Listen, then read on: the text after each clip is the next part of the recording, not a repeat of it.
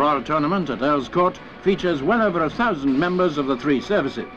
An entertainment packed full of action and variety. The Navy's field gun competition.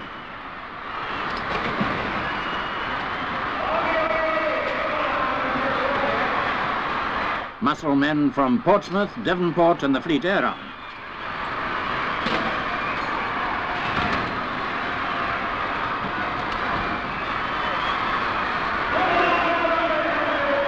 Now those tough fighting men from India, the Gurkhas.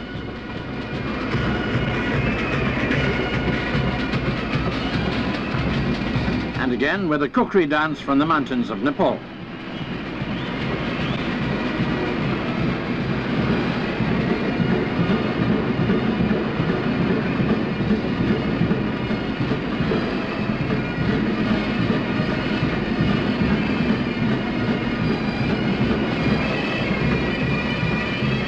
The Royal Engineers helping to bridge that gap with one of the latest assault bridges.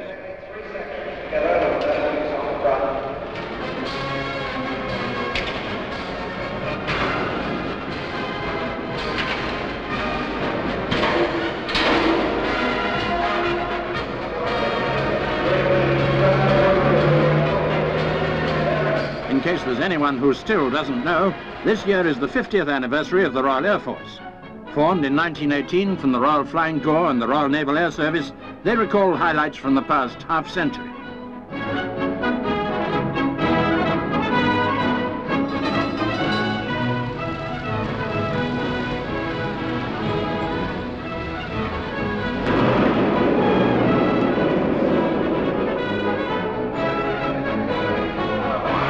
Gymnasts of the Royal Air Force.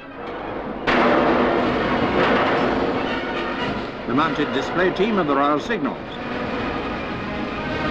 the gun teams of the King's Troop Royal Horse Artillery,